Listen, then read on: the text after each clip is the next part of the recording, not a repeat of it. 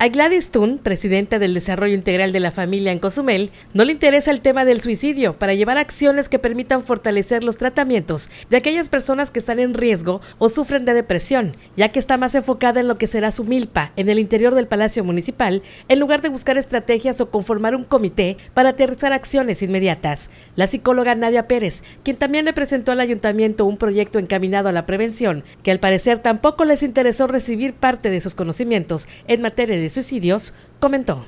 Así es, sí, antes yo había presentado un proyecto al municipio este, de Cozumel pues, para implementar sobre el suicidio.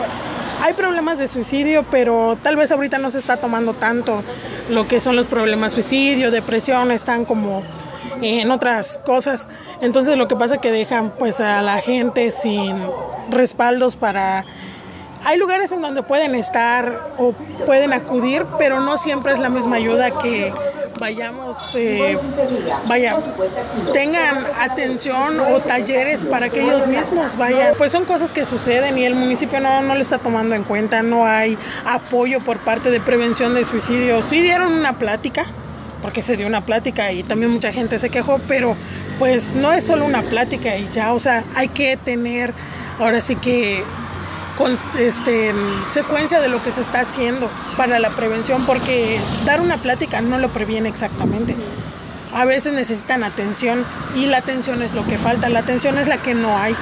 El DIF tenía programas, este, y sería muy importante que lo retome, porque pues hay gente que no tiene la facilidad económica de ir a un psicólogo, de pues acudir al DIF. Entonces, habían programas que eran gratuitos y ahorita ya no hay ningún programa. Ya no hay programas para prevención de suicidio. Hay pláticas, sí, pero afecta que no haya un programa. ¿Por qué? Porque no hay un seguimiento. Eh, personas con depresión, el final de la depresión es el suicidio. Y pues ahorita se toma la ligera de, ah, está deprimido, va al doctor y te dan pastillas. Y no es el punto porque se está tratando el problema neurológico, pero no emocional. Lo emocional sigue ahí. Con imágenes de Julio May, informó para Canal 10, Landy Vera.